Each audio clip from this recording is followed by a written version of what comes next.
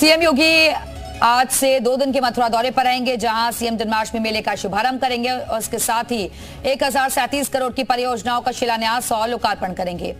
तो आज से दो दिनों के दौरे पर है मुख्यमंत्री और उनका कार्यक्रम किस तरीके से रहने वाला है, वो हम आपको लगातार बता रहे हैं।